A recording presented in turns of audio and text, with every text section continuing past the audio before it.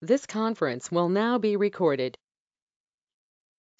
Good morning, everyone, and welcome to the eighth episode, cannot believe it, of the Hooved Animal Humane Society's Saturday Seminar Series.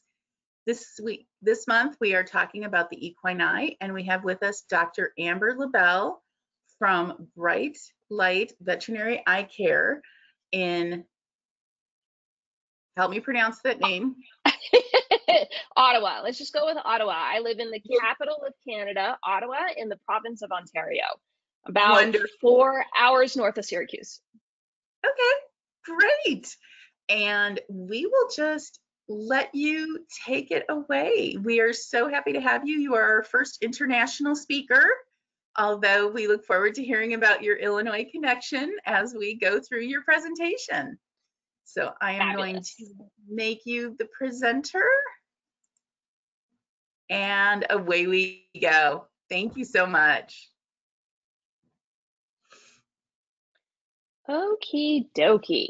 So let me pull up my slide deck here. Y'all can see my slides okay? I have a thumbs up, We make can. sure. Okay, fabulous. Well, thank you so much for that warm welcome. Thank you for this invitation. Uh, welcome to ILLINI with a little bit of a different twist on the eye because you got it. We're going to be talking about horse eyes today. Before we jump into that, um, I know it's a little weird to have like someone talking to you from a computer screen and like it's a little easy to feel disconnected. So I just wanted to tell you a little bit about myself so that we can be friends and so that we can learn together over the next hour or so. So my name is Amber. My pronouns are she and hers. I grew up in Arizona in the middle of the Southwest Desert where we grow amazing alfalfa hay, but there's no pasture. And yes, I've literally jumped over a cactus before when I was young and silly and foolish. Uh, I grew up as a three day eventer. I went to veterinary school because my trainer was really honest with me and she said, Look, kid, you're never going to the Olympics, but you can be a great vet. And that was the day that I knew that veterinary medicine was the way that I was going to be able to work with horses for the rest of my life, which was the only thing I wanted to do was work with horses. I went to vet school at UC Davis in California. I then moved to the East Coast and was in like the Jersey, New York, Connecticut region for a while. And that's where I fell in love with ophthalmology. And one of the things that I really love about equine ophthalmology is it feels really high stakes. So in the bottom corner of the screen here, these two little mean mugs, these are my pugs, uh, Bruni and Sheldon. They're over here in the background. They're probably to zoom bomb us here at some point. You know, like when a pug loses their vision, it's not that big a deal. Like, what do pugs do for a living?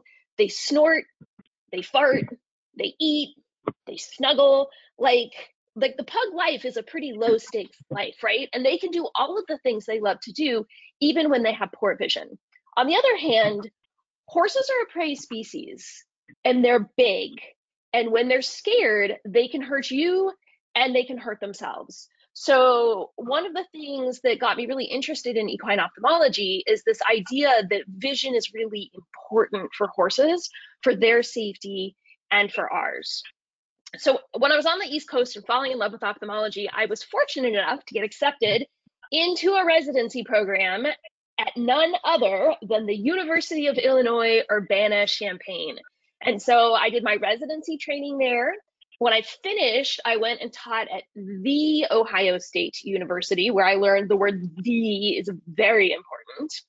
And then Illinois stole me back, and I was actually a faculty member at the University of Illinois for several years. Then I had my first kid, and as much as I loved my teaching job, I realized that I couldn't mom the way I wanted to and continue my academic career. So down here in the right-hand corner, these are um, my two kiddos. Uh, this was taken this past winter, and uh, this is literally the skating rink we built in our backyard. It gets really cold here in Canada. Um, my husband is from this area, and my kids are dual citizens. And so we make our home now in Ottawa. But this picture here on the upper right is actually me teaching at the University of Illinois in January of this year. So I actually taught the third year ophthalmology course to the veterinary students and it was a total delight. And I realized there's so much teaching that I can do on the computer. So if I can teach a veterinary student how to examine the eye on Zoom, I can definitely help you learn some stuff about horse eyes today.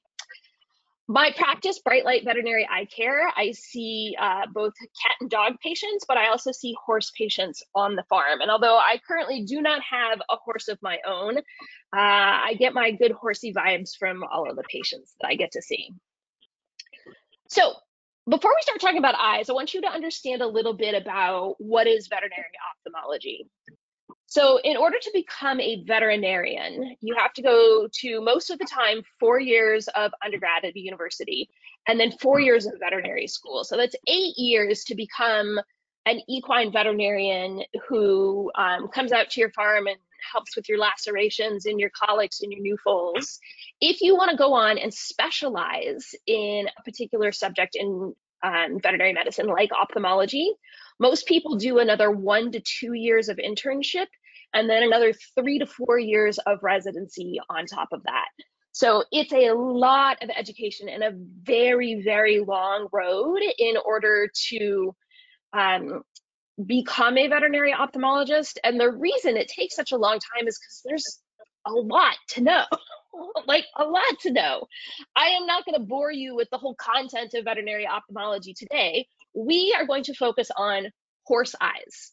And we're going to start in the place where I start with my veterinary students. We're going to start with the anatomy and the physiology of the eye. Because if you understand the parts of the eye and how those parts work, you'll be able to understand when your horse is having an eye problem, and you're going to be better at recognizing that and getting help in the appropriate amount of time. We're also going to talk about some of the more common eye diseases that affect horses in central Illinois. And then I'm going to give you some tips for how you can keep your horse's eyes healthier. And then, of course, we'll have questions at the end. So let's get started with the anatomy. In the upper right here is an actual equine eye that has been transected and laid open on the half shell.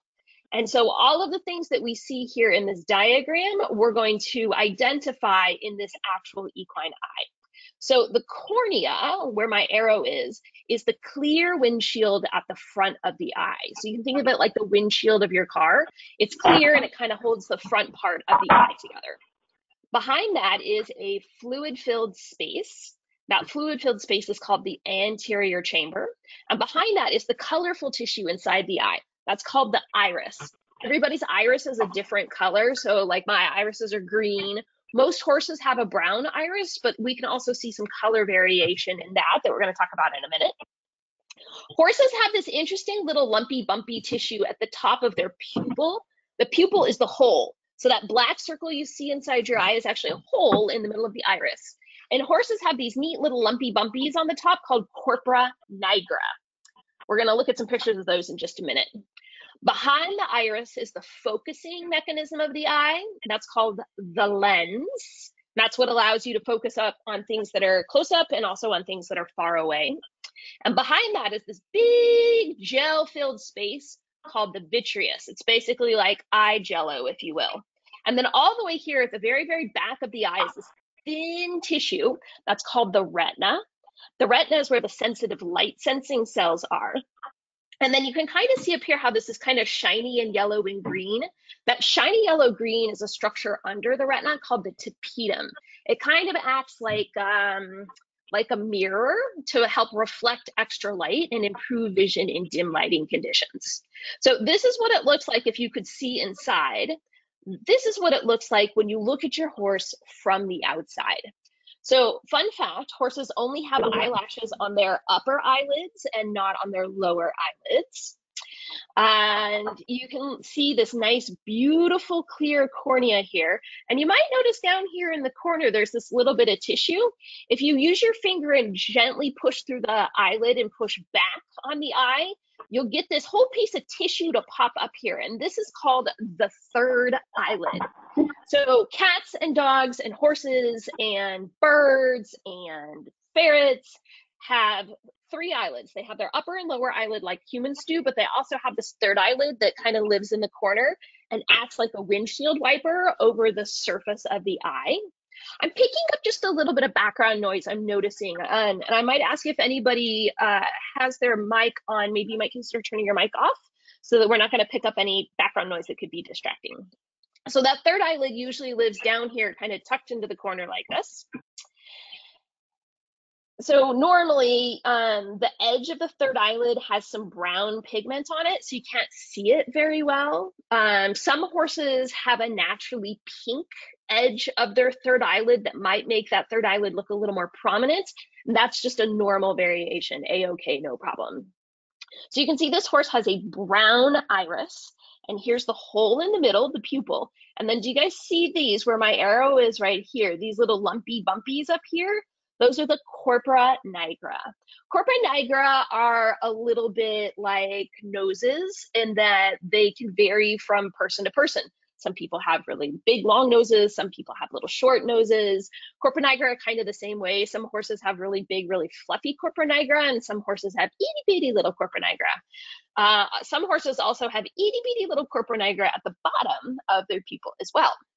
When we look into the pupil, you can see the reflection of the flash from my camera and also the nice clear lens. You can't actually see the retina at the back of the eye from the front without special equipment. So if you want to look at the retina, then you've got to, well, probably go to veterinary school and get trained in fundoscopy because I don't think most people other than veterinarians are probably looking at the retina. So like I said, the iris comes in a couple variations of normal. Um, horses with spotted coats, so paints and Appaloosas, will often have spotted irises. So in this uh, top left image, bottom left image, and bottom right image, you can see that all three of these horses have two colors in their iris. They've got brown, and then they've got either a very, very pale blue or maybe a little bit of a darker blue. This horse in the upper right has uh, such a light blue iris, it almost looks white. The $5 fancy word for having more than one iris color in your eye is heterochromia iridis. So you can use that at cocktail parties to impress your friends. That is a normal kind of variation. Now, it's also important to know that horse irises only really come in two colors, brown and blue. And the blue can vary from really, really light, like almost white, to kind of the darker blue that we see in this horse's iris. Those are the only two colors horse irises can be, though. Horse irises cannot be yellow, they cannot be green. That is really important for you to know because if you go out to the barn one day and your normally blue eyed horse has yellow eyes, that's a problem. that's a big problem, as a matter of fact. And you're going to need to get on the phone with a veterinarian ASAP. So, to recap, horses only have two iris colors blue and brown, and a mixture of those two colors. Every other color, red, yellow, green, purple, is something abnormal. This is what it looks like in the back of the eye if you use a special piece of equipment to look back there. This big pink jelly bean looking thing right here is actually the optic nerve. And the optic nerve is where all of the nerve cells of the retina come together and leave the eye and take the visual message up to the brain for processing. Fun fact, the part of your brain that does your vision is actually in the back of your head. Your visual cortex is back here. So, like, literally, we all have eyes in the back of our head, like literal eyes in the back of our head. I think that's pretty awesome. So let's talk about how the eye works, right? Now that now that we've got some of these parts and we understand how the parts fit together, let's talk about the purpose of having an eye and how the eye actually works to create vision. So, the whole purpose of having an eye is to take light information from the outside world up to the brain so that it can be processed as vision. And so the way that that works is we have bright light out in the universe bouncing around as mechanical energy, photons of light. You can kind of think of the light energy all around us like ping pong balls. Like there's bajillions of itty bitty little ping pong balls of light bouncing around, bouncing around all around us. And so those ping pong balls of light have to enter the eye and travel to the retina. And in order for them to get to the retina, everything along that pathway needs to stay clear. Okay. Every successive part within the eye works to focus the light and to organize the light so that by the time it comes back here to the retina, it's very precisely organized. And what happens in the retina is magic. It's absolute magic. So there are cells inside the retina that when those photons of light hit them, they release an electrical signal, right? So those cells actually take the mechanical form of light, little ping pong balls bouncing around all over the place, and they turn that into a zit, an electrical signal. Electrical signals are how all of the nerves in your entire body, including the nerves in your brain, communicate. So then that electrical signal is then transmitted up the optic nerve. The optic nerve is actually not just one nerve, it's a bundle of many, many, many, many, many nerves kind of bundled all together. And then that electrical signal goes up to your brain and is processed as vision. Like, isn't that so cool? Like, how could you not want to do veterinary ophthalmology for a living when you find out that's how the eye works? It's like magic. It's so awesome. So, the whole point of having an eye is to take light information from the outside world, turn it into an electrical signal that then can be processed by your brain as vision. Therefore, our goal in keeping our horse's eyes healthy is to make sure that light can get into the eye in an organized way and that then the structures of the eye like the retina and the optic nerve can do their job transforming light information why does it matter? Why why do our horses need to see? Well we talked at the beginning horses are a prey species right? And they have a pretty strong flight response. Some of them have a fight response, but most of them have a flight response. And so when our horses do not have normal vision, there is increased risk to the health of the horse and the humans around them if that horse tries to activate flight mode and take off and can't see where they're going very well. Also, we use horses for really visually demanding tasks, you know, whether we're talking about cutting horses and um, sorting horses, whether we're talking about three day eventing horses that run very, very fast and leap over large objects that do not fall down if you hit them, or whether we're talking polo ponies who have to just do some really amazing navigation. We ask our horses to perform very visually demanding tasks as part of the jobs that they do with us. And therefore, keeping their eyes as healthy as possible and maintaining normal vision is really super important. I have to confess something here. I don't actually know what horses see. I really don't. The hardest part of my job as a veterinary ophthalmologist is trying to figure out what my patients see. Since horses can't read the eye chart and tell me, you know, is it fuzzier now? Is it clearer now? Since I don't speak horse, or at least the kind of horse language that allows me to figure out what horses see, what we're left with instead is relying on indirect measures of vision in order to assess horse's vision. So we can look at their anatomy, we can look at what we know about the physiology of their eye, and we can infer some things about what normal horse vision should be like. So one thing that we know about horses is that their eyes are set roughly on the sides of their head, right? So if you compare like a human, where our eyes are directly at the front of our head, horses' eyes are relatively offset on the sides of their head. And that creates some really interesting impacts on their vision. So there is a part, uh, there's a, a field in front of them where they use both eyes to see. And when you're using both eyes to see, it's easier to assess, uh, assess depth. And it also gives you increased visual acuity because you're using the power of both eyes.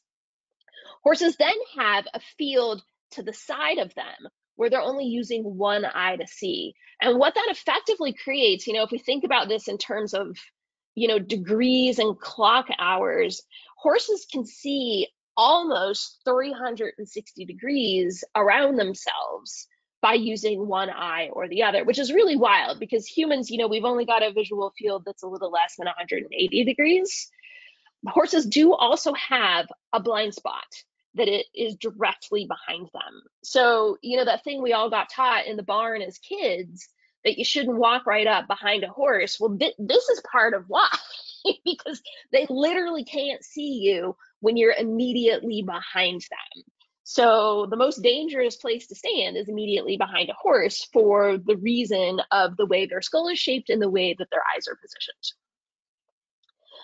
What else do we know about how horses see? Well, we know that equine vision broadly is maximized not for hunting. So, um, predator species, like let's say, I don't know, that pug sleeping on my floor over there that fancies himself a, a very fierce predator.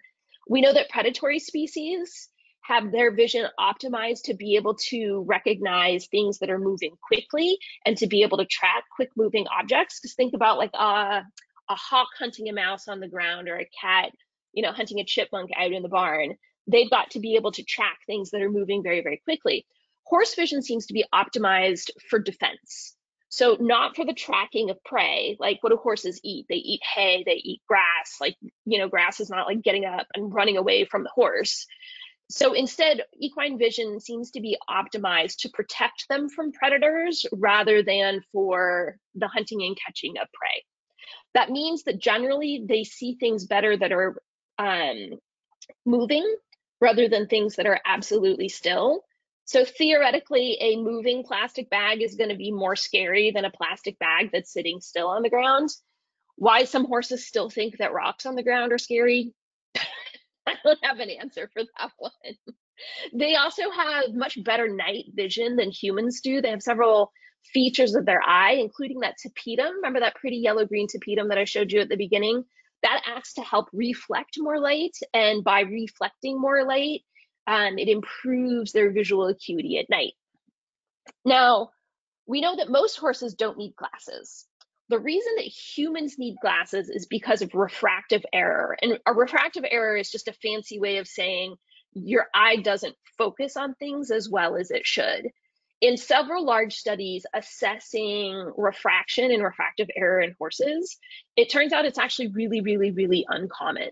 So if horses were people, most of them wouldn't need glasses and most of them would have pretty close to 20/20 vision. They do have a blind spot already, which we've already talked about a really common question that I get is Do horses see color? Yes. Yes. Horses can see color. Yes. Dogs can also see color. Yes. Cats can also see color. But horse color vision isn't like human color vision. So the reason that we call human vision trichromatic is because there's three different types of cells in our retina that perceive color horses only have two types of color sensing cells in their eye. And so their ability to perceive um, reds and oranges is definitely not as good as humans. There is, based on some anatomic research, the supposition that horses might see similarly to male humans with red green color blindness. So this is a pretty famous image that I took out of the recently published equine ophthalmology textbook. And this image is the top two images are kind of what humans see in the world. And the bottom two images, again, based on anatomic studies, are what we think maybe the visual world looks like to horses. So it's definitely grayer. It's definitely more along kind of like a pastel spectrum. Um, the reason that this is probably important is when we're designing things that horses are jumping over, taking into account what is high contrast for them versus what is probably low contrast for them, I think informs fence design for hunters and show jumpers and three day eventers. Okay, so we've done all of this talking about normal up to now. Now we're going to shift our focus a little bit and we're going to talk about eye diseases of horses. Why are horses always hurting their eyes? Well, that's a good question. The the equine eye is very large. It's it's a big eye compared to like like say a dog or a cat or even most birds. And they're pretty prominent and also horses are just like really nosy. They're really nosy. One of the most common diseases that we see in horses is eyelid lacerations. And eyelid lacerations probably happen because horses are putting their faces in places where they don't belong and then trying to run backwards when something scares them and creating an eyelid laceration. Eyelid lacerations are always something you want to call your veterinarian about. Always, always, always. They're not necessarily something that has to get fixed in the next hour, but you definitely want a veterinarian to look. Do not, under any circumstances, cut off any of that tissue. I don't care how black it is, or how stinky it is, or how cold and dead you think it is. Do not cut any tissue off of a horse's eyelid until a veterinarian has assessed that. The reason I say that is because eyelid tissue has remarkable regenerative abilities and healing abilities but if you cut it off, there's only so much eyelid to go around. And unfortunately, there's only so much eyelid available to cover the surface of the eye. So no cutting eyelid tissue off. You know that old expression, no foot, no horse? The ophthalmology equivalent of that is no eyelid, no eye, right? Eyelids are super, super important for protecting the surface of the eye, for removing dust and debris from the surface of the eye. And it doesn't take very much going wrong with an eyelid to end up with hairs poking in the wrong direction that then can create ulcerations on the cornea, damage the cornea, and impact vision. So even if it's a teeny little thing and you're like, I don't know if this needs any stitches, you want to get a veterinarian to have a look at these. There's a really couple simple things you can do to prevent eyelid lacerations. These old school buckets with the little upward metal hooks, these things are the worst for hurting horses' eyelids. So, doing something like buying the new fancy ones that don't have these hooks, or just duct taping around these if you've got a bunch of them on the farm, will go a long way towards preventing eyelid lacerations on your farm. Eyelid tumors, unfortunately, are fairly common in horses. Sarcoids are a type of skin tumor that can be hard to treat on other parts of the body, but darn near impossible to treat around the eye, just because there's not a lot of extra skin to work with around the eye and around the face. Sometimes we'll inject these with um, different chemotherapy agents. Sometimes we'll use lasers. These can be treated, but any non-healing wound or lumpy bumpy of, of the skin around the eye is definitely something you should get a veterinarian to look at. Because you might be like oh yeah you know you just rubbed his face on the fence no big deal. But when this thing still isn't healed three weeks later and you know as a good horse person that most little cuts get healed up much sooner than that that's when you might be suspicious like oh gosh this could be a sarcoid and you want to have a veterinarian have a look at it the most common eye tumor in horses is squamous cell carcinoma. So, squamous cell carcinoma is a form of skin tumor. And in horses, it can affect the third eyelid. It can also affect the eyelid skin itself, or it can affect the conjunctiva, which is the white tissue around the eye. Squamous cell carcinomas can be really aggressive they can cause a lot of tissue damage. And when they get very big, they can be hard to treat. So, this is the part where I'm going to tell you a sad story. This horse's name is Shaker. And he was one of my patients when I worked at the University of Illinois. And he was owned by the nicest woman on the entire planet. And Shaker had a squamous cell carcinoma of his third eyelid, and he had that squamous cell carcinoma removed. And unfortunately, his owner didn't receive good instructions that that needed to get rechecked at least twice a year. It's really, really important that if your horse has a squamous cell carcinoma removed, that they get cancer checks twice a year. Because unfortunately, when I met Shaker, his squamous cell carcinoma had returned and it had grown deep, deep, deep, deep, deep into his eye socket. And despite heroic treatment, and an absolute heroic effort on the part of his owner who loved him so, so, so, so, so much. Unfortunately, that cancer spread and it spread across his head and it spread into his brain. And unfortunately, we had to euthanize Shaker.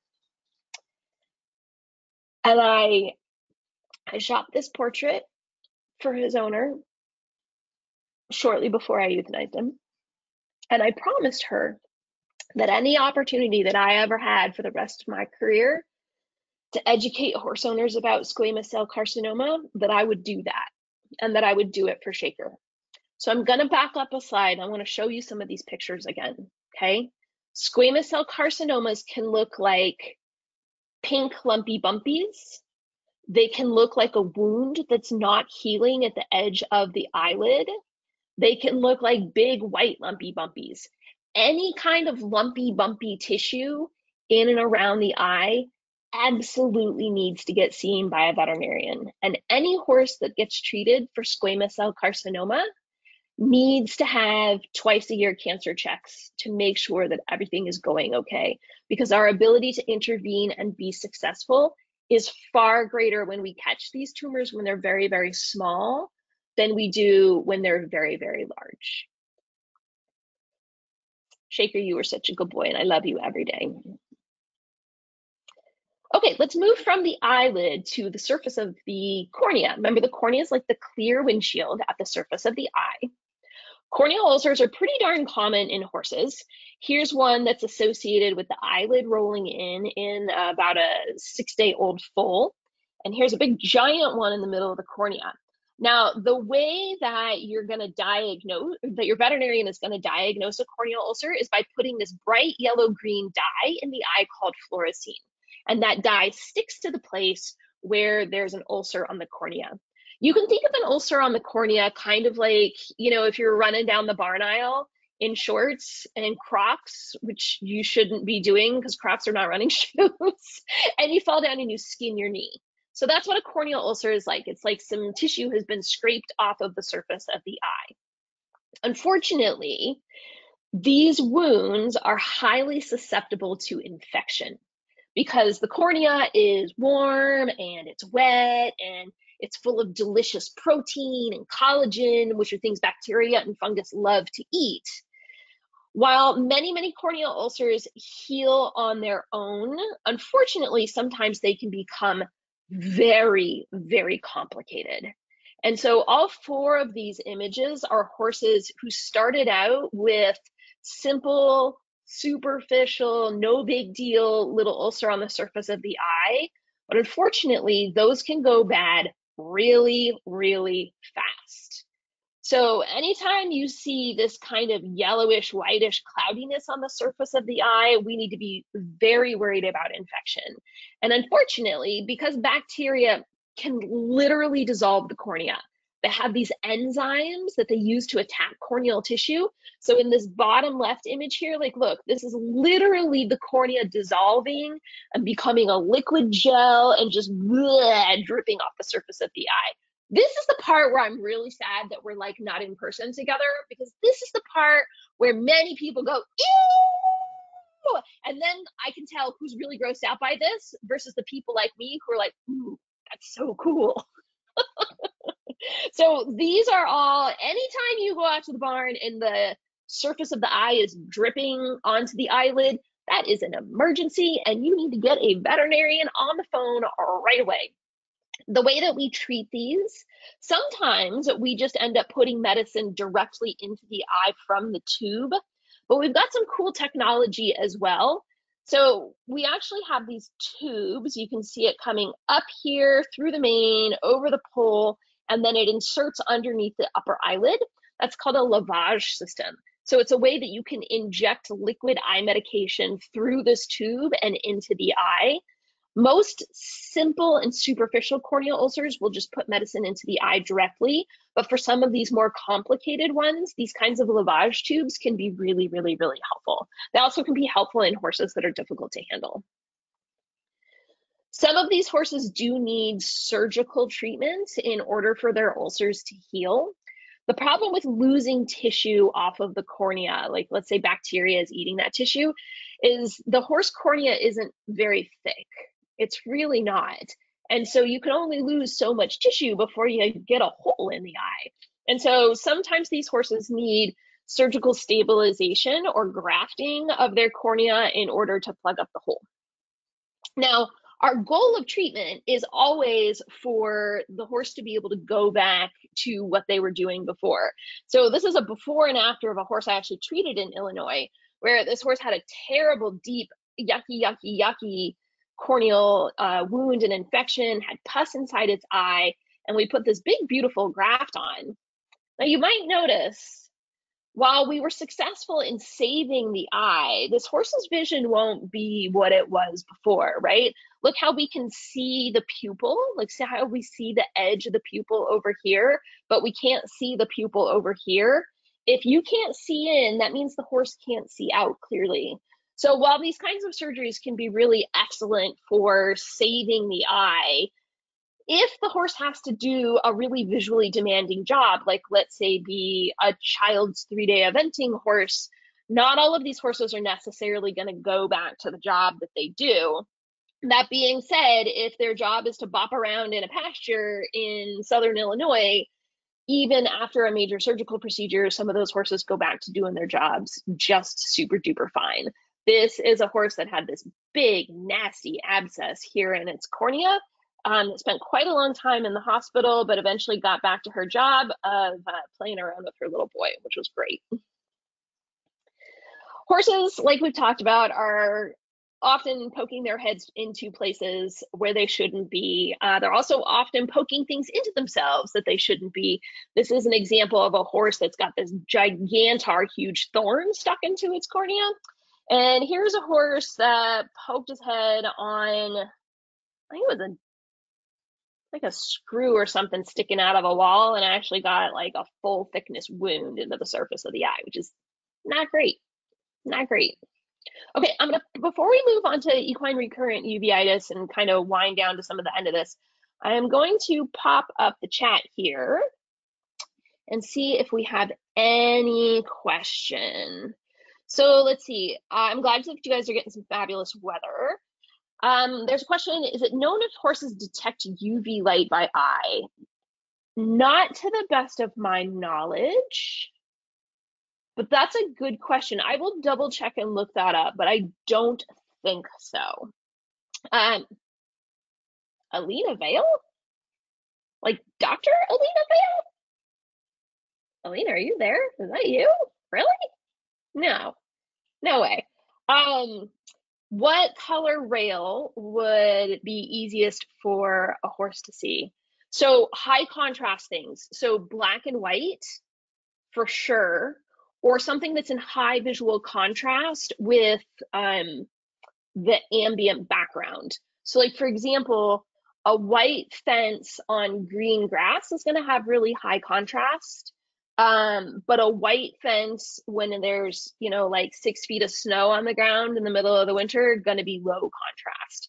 So I, I think it has to be, um, oh my gosh, Dr. Vale, I am so excited that you're here. Dr. Vale and I knew each other when I was a veterinary student at the University of California, Davis. You stay on afterwards. I want to say hi to you, okay? Um, so I, I think the name of the game is like really really high contrast. And knowing that like if you painted like for example um, a stadium jumping pole like with red and green stripes that that's going to have basically no contrast for the horse. So the contrastier the better. Thanks for these great questions you guys. I love this. Okay let's let's talk a little bit about the disease that many people know as moon blindness. So moon blindness is more correctly known as equine recurrent uveitis. Uveitis is just a fancy word for inflammation inside of the eye. Okay. So here's what we think the cycle of equine recurrent uveitis is. So you're a horse, that's the equine part of the disease. You have your immune system attacking the inside of the eye. And when that happens, that this is the actual uveitis part, the tissue inside the eye gets damaged. And unfortunately, your immune system then sees that damaged tissue and goes, ah, this is a foreign invader, attack. And then you've got the immune system attacking the eye. And then the eye tissues are getting damaged by the immune system, which then causes the immune system to recognize the eye as something to attack, which makes it go on attack, which damages it, which makes it thinks it needs to attack, which then it goes on attack and then it gets damaged. And you see the cycle goes round and round and round. That's the recurrent part of equine recurrent uveitis. Now, the million dollar question about ERU, that's what we call it for short, is what is the inciting cause that starts this? And the answer to that question is we're not sure. We're honestly not sure. There is loads and loads of research going on around the whole world about ERU, and we still not have identified a single precise inciting cause. There is some thought that leptospirosis, so infection with a bacteria called leptospira, may be the inciting cause in some regions and some cases. There is also a genetic susceptibility in some breeds of horses, particularly some warm bloods in Northern Europe. There's a coat color predispos predisposition that we're going to talk about in a minute. Um, there's some thought that maybe trauma or other infections might be involved. The honest answer is we're not exactly sure. But luckily, in 2002, even without understanding all of the mechanisms of this eye disease, we've got some pretty reasonable treatments at hand. So what does it look like when a horse has ERU? So there's kind of two ways that most horse owners notice ERU. So the form that's hardest to detect is when it starts in the back of the eye. And these images are not as pretty as I would like them to be. I must have done some color readjustment here. Normally, when you shine a light in a horse's eye, you should get like a nice bright blue or green or pink sort of shine back out. Horses with ERU in the back of their eye, if you shine like your phone light or a flashlight in there, it looks like dirty green pond water, like really gross looking dirty green pond water. Anytime the back of your horse's eye looks like dirty green pond water, something's going very, very wrong. the, the form of ERU that affects the front of the eye is much easier to recognize because most of the time horses with ERU in the front of their eye are really squinty and maybe having tears coming out of that eye and might even show you some really dramatic changes like a color change of the iris. So remember what I told you at the beginning that the only normal colors for an iris are blue and brown. Okay, so look here, see this horse's iris? It's yellow. That's not normal. That's not normal at all.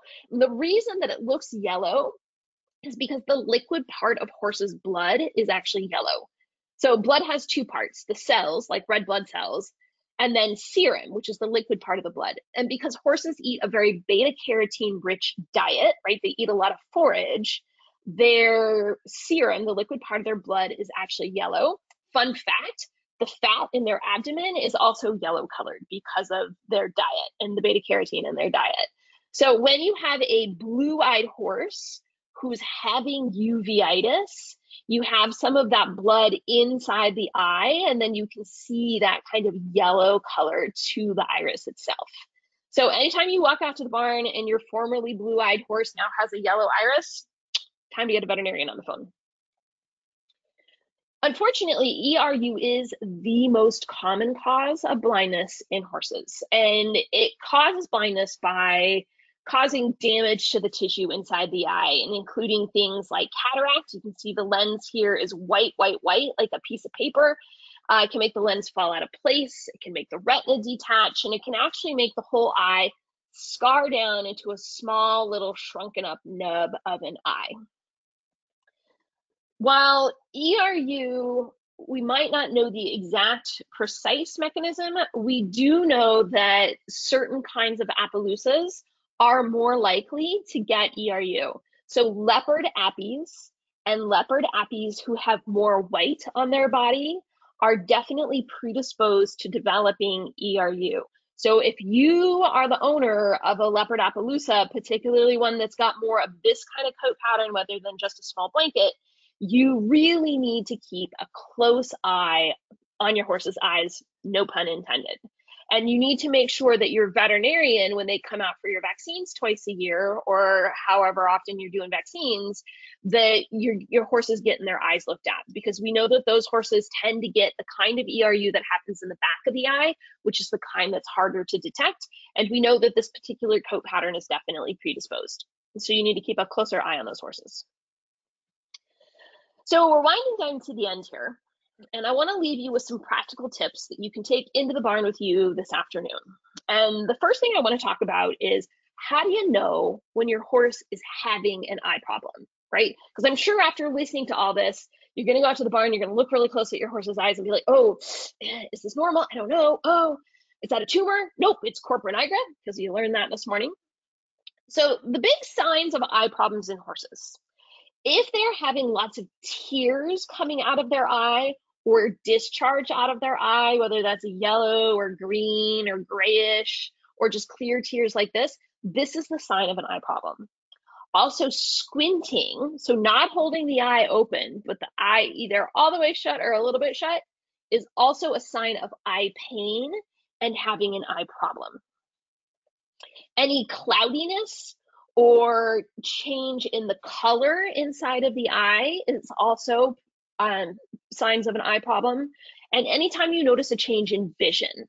So if you're totally reliable, totally bomb proof 24 year old trail horse, all of a sudden won't walk out of one particular part of the barn or one particular gate, that kind of behavior change is definitely something you need to talk to a veterinarian about. Also, a change in the size of the pupil. I know that I'm an ophthalmologist and I'm obsessed with eyes.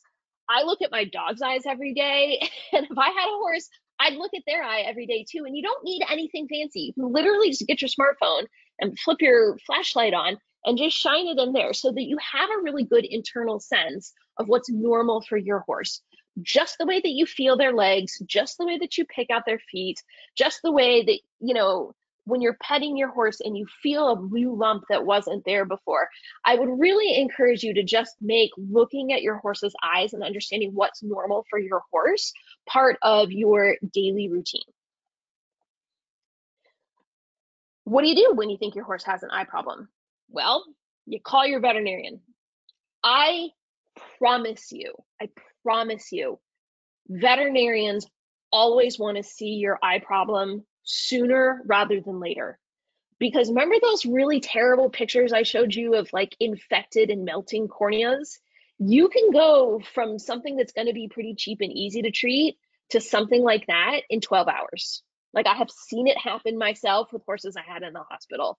So if you are even remotely concerned about your horse's eyes, please, please, please, please, please call a veterinarian. We are never, ever, ever, ever mad to be able to go out and see a horse with an eye problem because we know that they can be time sensitive. How do you protect your horse's eyes? Okay, this is the last thing we're going to talk about. Some really, really cheap, really accessible things that you can do every single day to reduce the risk of your horse developing eye problems. So, first off, walk around your barn walk around your barn and run your hands over the walls, run your hands over the sides of the stalls. Be on the lookout for displaced nails and broken boards and things that are pokey that could potentially cause your horse to have an eye injury. Also, tape up those bucket hooks, man. Those things are just absolutely the worst. Do not leave those little upturned bucket hooks around. Um, put some duct tape on them. Make sure that anything your horse wears is appropriately fitted. I have seen some really nasty corneal ulcers from those stretchy, sleazy, slinky things like horse spandex, getting like cattywampus on their head and then rubbing on the surface of their eye. Also, I do absolutely advocate for the use of fly masks in all horses who are turned out and out in the paddock or out in a dry lot, but you got to take them off at least twice a day. Okay. The worst thing is when the horse has been out in the pasture for a few days wearing the same fly mask and they come in to get fed or they come in to ride and you take the fly mask off and there's a bunch of pus coming out of the eye because they've got a terrible nasty infected corneal wound okay? Fly masks are great. They're great for protection. They're great for reducing irritation from flies and reducing diseases like habronema but you got to take them off and you got to look underneath them again that's cheap that's easy to do and it's something that can make a big difference in detecting eye problems early. Really high level stuff like this is what the a plus clients out there are going to do is do some conditioning work to help your horse accept having their eyes touched. Simple things like being able to rub over their eyelids and using your fingers to gently open their eye.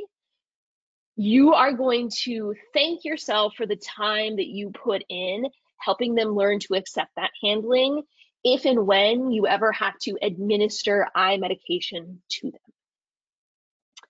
All right, friends, those are all of the slides I prepared for you. I'm popping over here to the chat.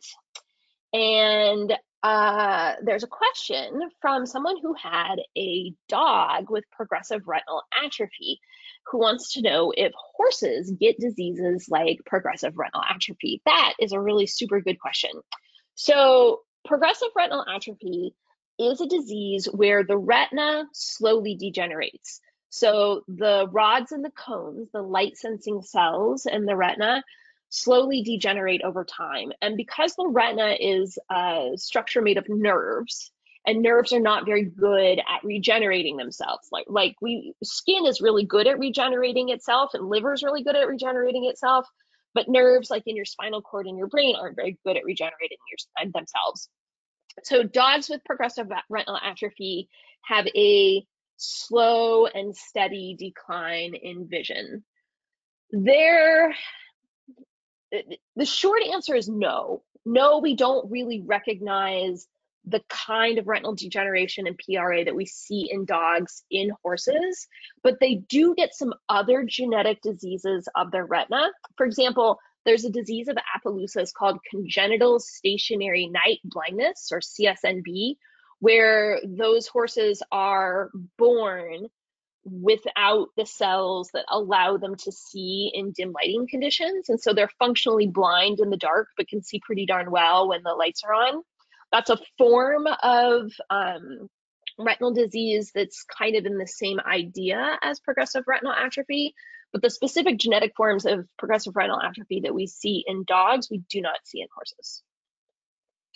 Okay, I am going to stop sharing my screen. And I can see myself now. And I'm going to say anybody who wants to drop a question in the chat, anybody who um, wants to unmute and ask a question, uh, I have someone in the chat who is apologizing for their English, and I am going to say I reject your apology because if you write in another language and you can write in English, that is really darn cool. And as someone who lives in a very multilingual community with bilingual children and a bilingual husband, I sure wish I had good command of more than one language. So, Jenna, I think you're awesome and you're doing great. You wanted to know how many completely blind horses have a normal life. So, this is a really good question. So, it depends on the horse, it depends on their housing situation, and it depends on the person that owns them. So, do I know some really happy 35 year old, totally blind horses that have lived on the same farm for 35 years and who are really good at ambling around their small flat paddock and maybe coming into the barn every now and again. Yes, yes. I, I'm thinking of this one particular chestnut Arab horse that I saw earlier this year that like that horse has a great quality of life. He's very confident. His owner is very competent in handling him. And I would say he's very safe, both in terms of his personal safety and safe for the people that are around him. I'm also thinking of another patient that I saw this year who was a young off the track thoroughbred who had a sudden cause of blindness. And the owners in that case elected for euthanasia. um, because that horse's cause of blindness was irreversible and his temperament in his living situation was such that he was dangerous both to himself and to the people around him.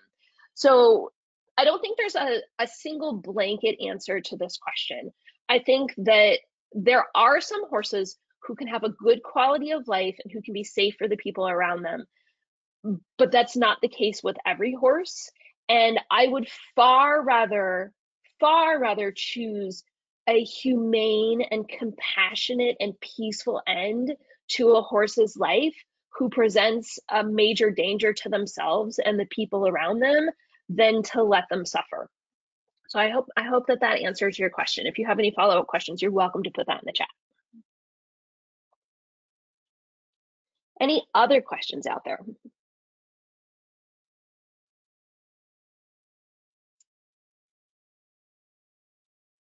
Okay. Well, actually, um, we did talk about one question that I found last night. Let me see if I can get it up here. So, um, Dr. King was our May presenter, and she spoke to us about um, we called the equine mythbusters, how to dive deep into the information that we're seeing and assess it. So this is a, question that she posted coincidentally yesterday, and I thought it was perfect timing for our seminar. Um, in terms, you know, wild horses, we're used to seeing them and they have these tiny fringy little forelocks and um, short manes and tails. And we like to encourage domesticated horses to have these long, luxuriant forelocks and everything. But if we think about when we get an eyelash in our eye, it's fairly irritating. Um, how does having longer forelocks could that compromise vision? Is there something that we should do in terms of grooming to maintain that so it doesn't become an issue? Can you speak to that a little bit? Definitely. Um, yes, like yes absolutely. If you have a big bushy forelock and you can't see the eyes very well and yes it's absolutely going to impact vision. Um how much is it going to impact vision? I really wish i could get a horse to read an eye chart for sure. Um would i go cross country on a horse with its forelock completely covering its face like we see in this picture? Definitely not. Like definitely not but, you know, is having a bushy forelock gonna affect your ability to get out in the pasture and graze? Probably not. Probably not. Um, I I think about what we know about dogs that have lots of fuzzy hair over their eyes, and I think about the fact that very often owners end up clipping their hair up in a top knot in order for them to be able to navigate around. I would imagine that yes, so having a big bushy forelock could definitely interfere with vision. Absolutely.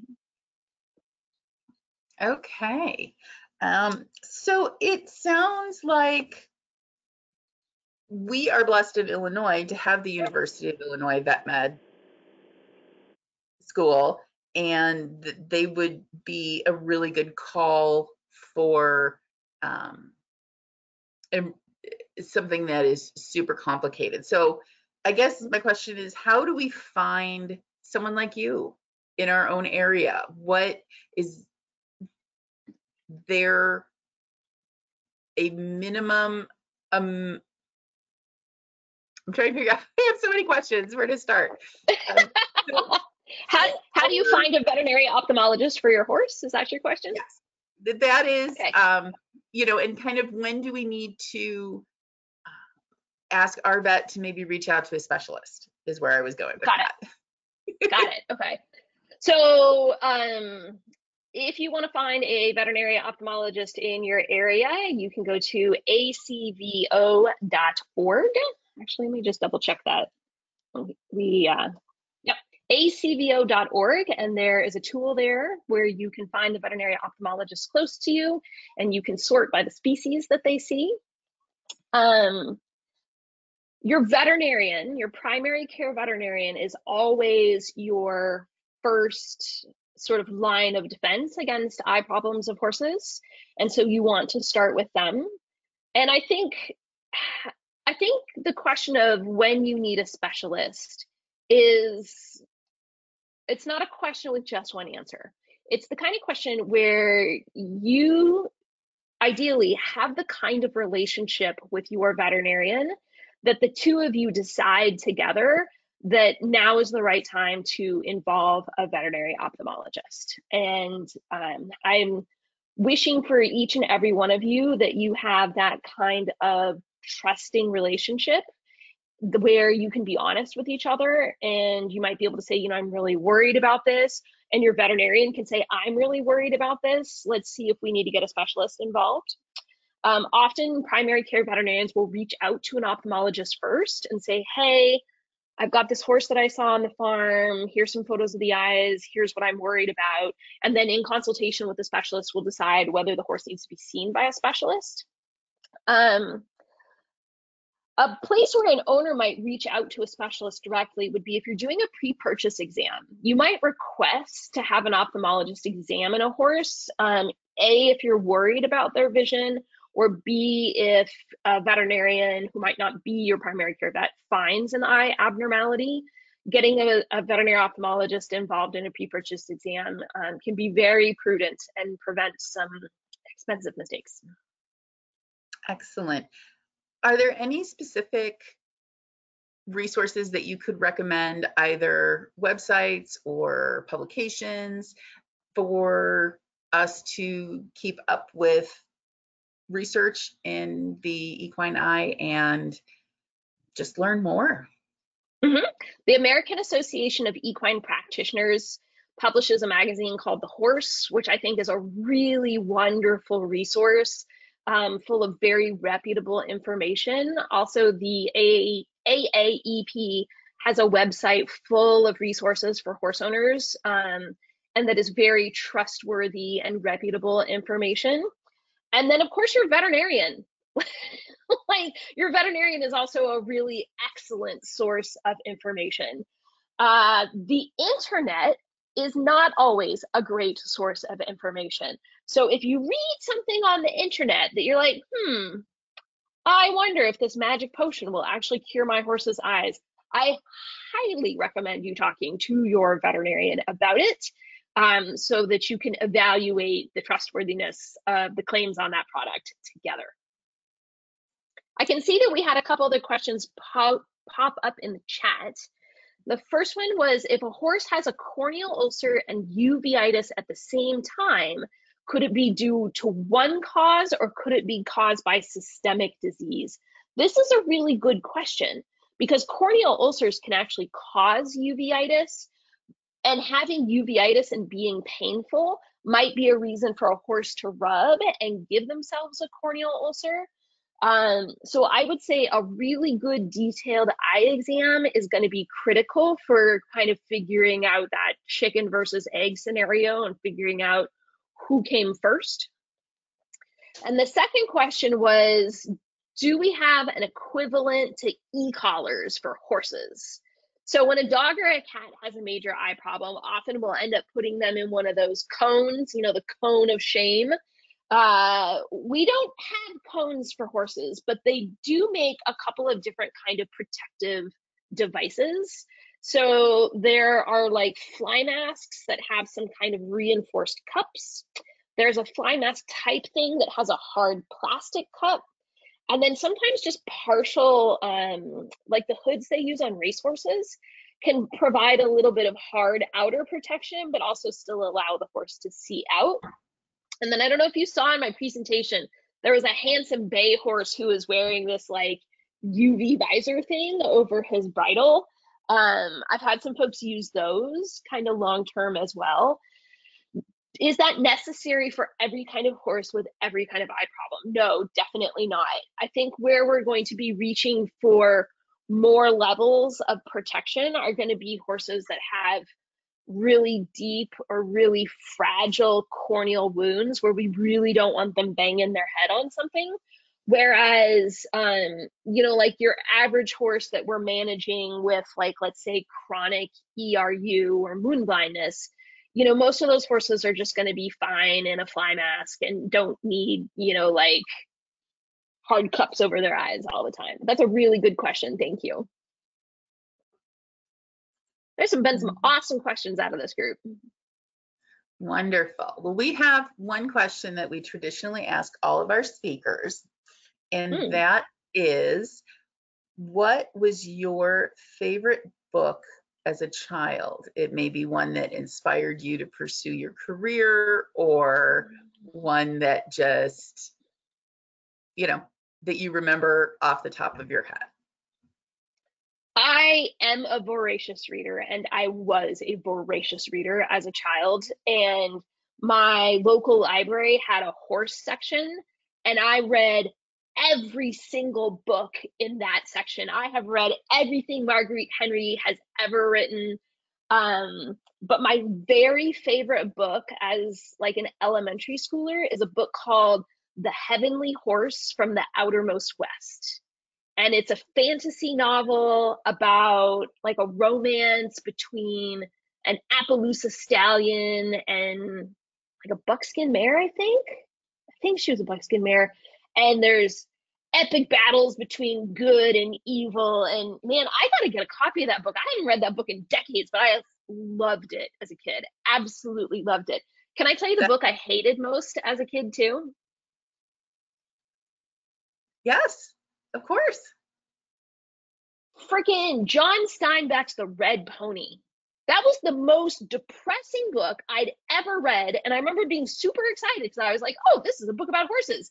And like the kid's horse gets strangles and dies. Like it was awful. Awful. Do not recommend The Red Pony. Definitely recommend The Heavenly Horse from the Outermost West. Outermost West. I've never Mhm. heard of that. I have to go find it now. I'm sure it's not in print. I mean, that, that book is old at this point. Well, Dr. Labelle, thank you so much for joining us today. This was so interesting and informative. I cannot appreciate tell you how much we appreciate it. And We were Oh, talking honor. It really is. before we started, how small the equine veterinary world is.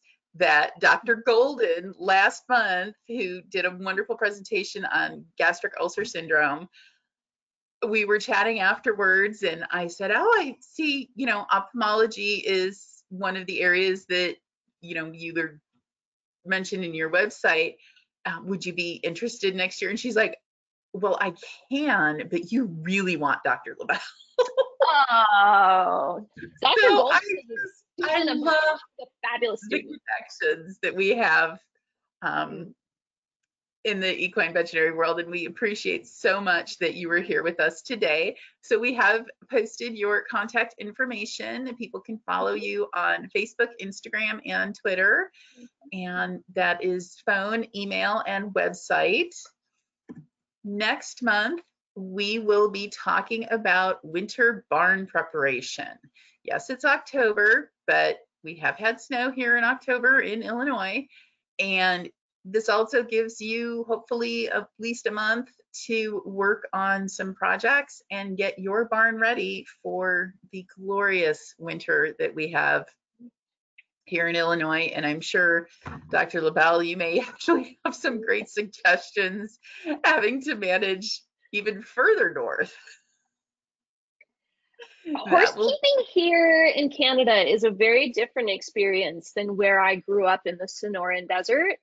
And the two most important things that I've learned from the horse community here about keeping horses warm in the winter is number one, making sure they have hay in front of them at all times. Because if they're eating, they're generating internal body heat, and that helps keep them warm.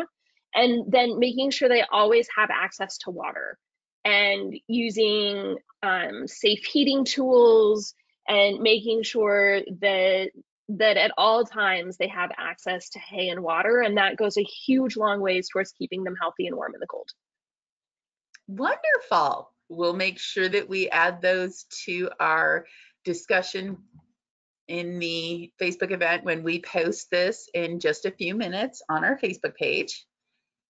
and then for anyone on who is local to us in Northern Illinois, HAHS is based in Woodstock. We have a few events coming up. Our fall festival is next Saturday from 10 a.m. to 3 p.m. The following week, we are really pleased to be hosting the Illinois Fire Service Institute and the Woodstock Fire Rescue Department for large animal rescue awareness training. So we all know that horses spend 11 months coming into the world and the next hopefully 20 to 30 years trying to get out of it in the most creative and possibly destructive ways imaginable. So as you can see from some of the pictures, um, we will be learning from the University of Illinois Fire Service Institute just the very basics of large animal rescue. I know the the one tidbit that I always love sharing about this is the human skeleton and the equine skeleton can be matched bone for bone except for one bone. So they are identical skeletons except for one bone. And when you share that with first responders who are used to extricating people from accidents and everything, boom, the light bulb goes on and they're like, oh, got it. So um, please join us for that. That is an in-person event at our farm. We welcome you from anywhere. And we will also be offering on the same day, we're doing a Dine to Donate fundraiser with our local Chipotle, and we will be bringing lunch in after our training session. So we look forward to seeing you next month for winter barn preparation or on the farm in the next couple of weeks. Thank you so much for joining us, Dr. Labelle, and I hope that when you make a trip back to the US, you would consider swinging through Illinois and stopping by to say hi. I would love that. Wonderful. We hope everyone enjoys beautiful weather that you're hopefully having wherever you are. And thank you to everyone who joined us, especially Jana, who joined us from the Czech Republic today. We are so excited that not only do we have international presenters, but we have international participants. We're so glad you found us, and we look forward to seeing you all next month. Have a great week, everybody.